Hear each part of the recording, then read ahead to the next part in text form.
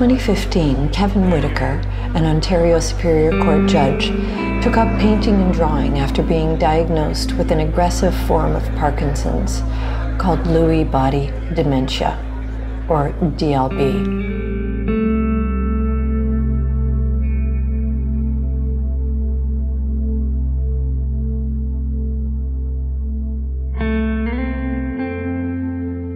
The area that I sort of noticed first was um, my sense of balance, uh, especially at night.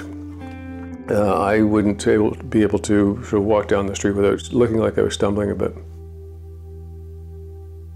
Rightly so, physicians are reluctant to run to a, di a diagnosis of Alzheimer's or um, um, Lewy body disease because it, the, the, consequences of being uh, um, diagnosed in this fashion uh, has a serious way on how other people view you in the world, and it also um, puts you in a different sort of category of uh, what kind of treatment uh, you need on a, long, on a very long and ongoing basis. Kevin's response to this degenerative disease was to paint, prolifically resulting in his exhibit, Chasing Monsters. Two years ago, Kevin needed a walker and was becoming lethargic. Today, his hallucinations have reduced and his energy increased. Could it be that the psychological boost from his exhibit is responsible for such significant physical and emotional improvement? I was born uh, in 1957 in uh, the city of Toronto uh, at Toronto Western Hospital. And uh, my parents were quite young at the time. I think my dad was 18 and my mother was 20. Uh, so I was uh, the first serious kind of responsibility they'd ever had in their life. And, any, and the three of us lived a happy little existence in a basement apartment off uh, Vaughan Road in uh, North Toronto. Years earlier, when Kevin's father was hospitalized, the emotions he felt were so powerful that while driving home from hospital visits, he was rage filled. Painting was a way for his body to power down and focus on just one thing. For Kevin, it was and still is an incredible stress releaser. Acrylic on wood panel. The only way you'd be able to distinguish between the regular Parkinson's and Lewy bodies is, is following an autopsy. There's no test known uh, which, will, which can be used while the person is still alive.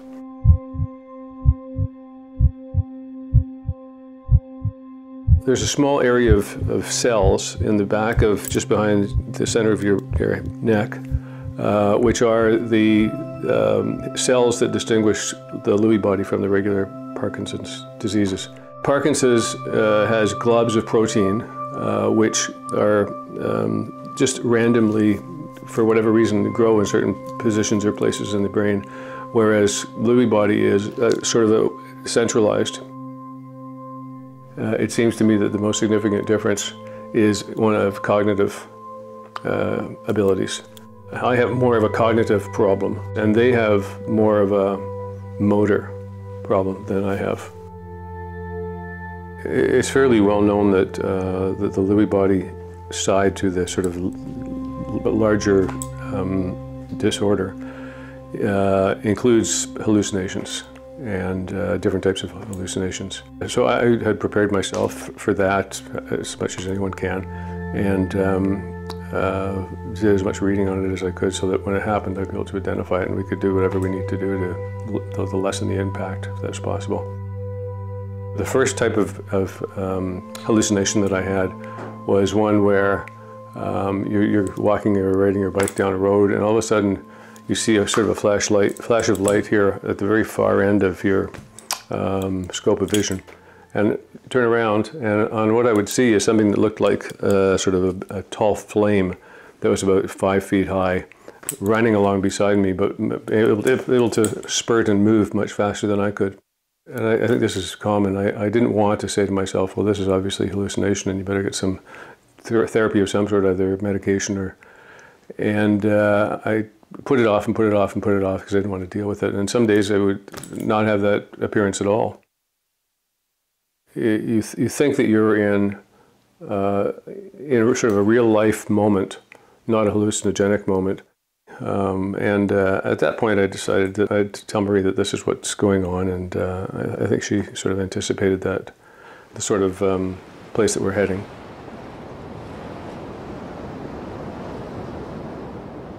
It's a lot of presence of these uh, hallucinated individuals. And uh, certainly I understand in my mind when I see them walking by my bed or pushing me through the doorway. I don't, I, I don't actually interact with them that I can feel them. But I have on occasion, when I'm tired and I'm not thinking clearly, I've tried to push the person that I'm trying to get by out of the, out of the doorway, and they dissolve. I just don't, you get, it's, it's very, um, uh, it's very unsettling, and it's, uh, you don't feel comfortable and safe. Kevin W.V. Whitaker, barrister at law at the City of Toronto in the province of Ontario. At some point, I raised with my colleagues at the Court of uh, Superior Court of Ontario uh, what my situation was, my medical situation was. I knew that this disease was um, terminal, and I knew that uh, uh, there, there really had had not been cases where there was any kind of relapse. So um, I knew that at some point uh, my conduct would be changed or altered. That uh, I simply, in good conscience, couldn't couldn't continue with uh, and provide uh, to my colleagues, to the public, um, the quality of the level of service that I held myself to. Uh, I, I, might not be the best judge of when that point is, re is reached.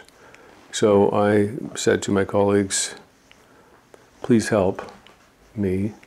And if you have any sense that I'm having some difficulty meeting your expectations or the expectations of the parties, let me know, please. Um, and uh, that was a very hard thing to do um, for a variety of reasons. Firstly, probably it is a for me anyways, you know, the most interesting type of work you could possibly do as a judge. I found sort of early on, uh, after my diagnosis, that I would need something more in my life to um, do some form of public service. Art, for me, assists me in understanding the content of what it is that I'm, my brain is obviously trying to sort of give meaning to. Um, I'm very keen on the use of eyes, drawing eyes and looking at eyes and thinking how they reflect what's going on behind them. I, I practiced uh, eye, eye, drawing a, a, fair bit and uh, I, I, like to use it to sort of um, decode some of the things that I presume I have, I have written uh, into this type of picture. I often will do a, a strange or a, um, different count uh, of uh, the, ears, the eyes that I use in my paintings. Just because I think it gives people a jolt and uh, you sit up and pay more attention if you've got something that uh, just sort of hits you out of the side and uh, is different enough from your everyday li living experience that um, you know, it, it encourages um, inquiry. Before it was a show, these paintings started less than three months ago the ones that are the big paintings in the show. So what was amazing was to watch him gravitate to a huge canvas, which was not something he'd ever explored. And that came very much out of him walking by a huge canvas when we were in California and saying, I'd love to paint on something that big. And when you live with someone whose life expectancy is shortened and you want to bring as much life to every day, that's a wish. So I really said, oh my gosh, here we are, thousands of miles away. Let's just see what happens. And then he did the first canvas, and then he did the second canvas, and then he did the third canvas. And I thought, oh my gosh, how are we gonna get these home? And we took them off the canvases, we rolled them up, brought them back to Canada, and then our wonderful neighbor reframed them. And then my best friend came over and said, I think I know where you could have a show. And here we were less than five weeks after coming back from California with this focus.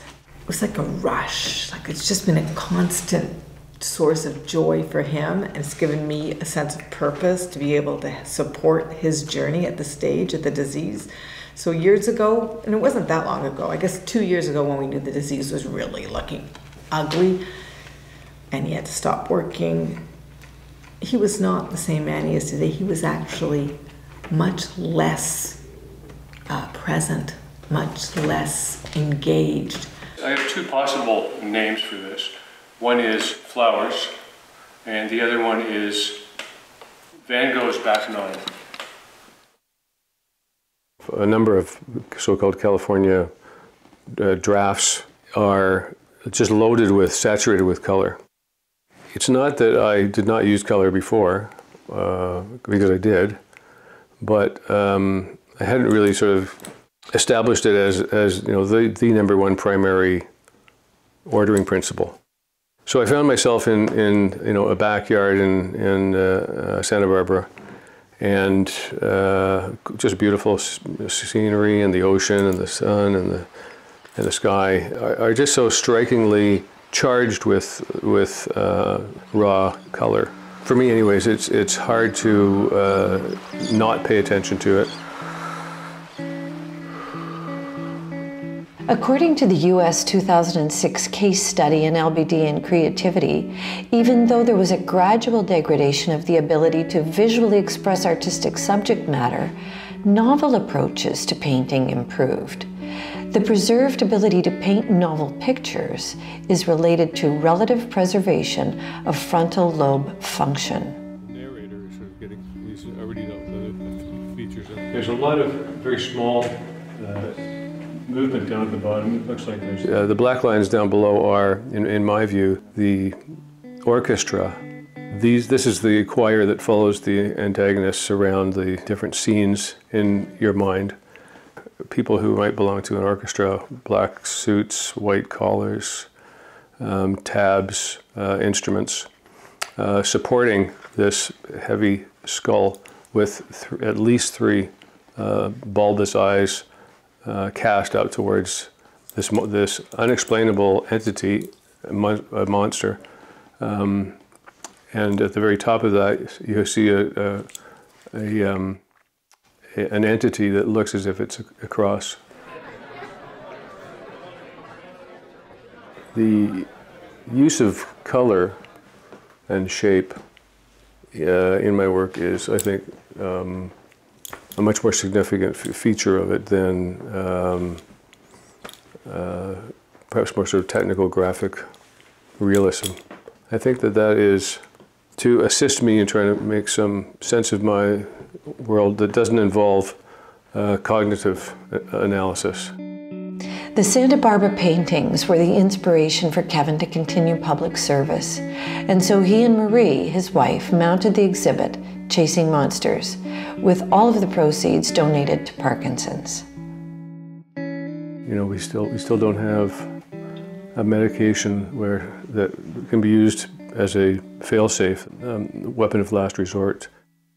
Research and writing, and then uh, clinical uh, testing, uh, and then presumably at some point um, uh, some type of uh, medication or, or set of pharmacological tools that could be used to, to provide some respite from the day-to-day pain and sort of ongoing trauma.